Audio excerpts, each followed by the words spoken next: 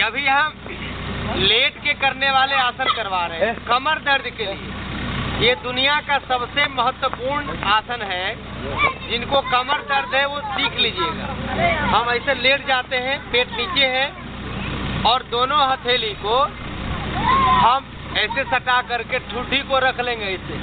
गाल पर हाथ लगा लेंगे। पीछे पैर सटा हुआ है। सांस भरते एक एक पैर को ऐसे से मारना है सांस को भरते हुए मोड़ेंगे सांस को छोड़ते हुए सीधा करेंगे। इसका नाम है मकरासन। इसे आप 15 से 20 बार करिएगा। चौकी पर पलंग पर आप ये अभ्यास कर सकते हैं।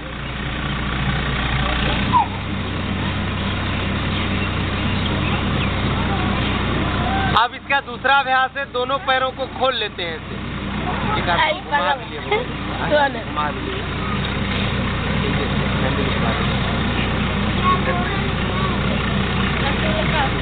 अब इसका हम दूसरा अभ्यास सिखाएँगे। आप सभी तो आप लोग सभी इसको देख लीजिएगा। अब दूसरा अभ्यास हम करवाएँगे।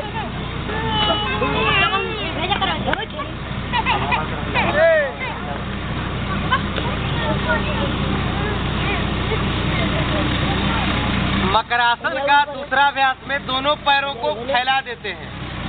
और दोनों को एक साथ सटा करके और यहाँ पर सटाएँगे। केड़ी को चुत्तर में सटाएँगे ऐसे।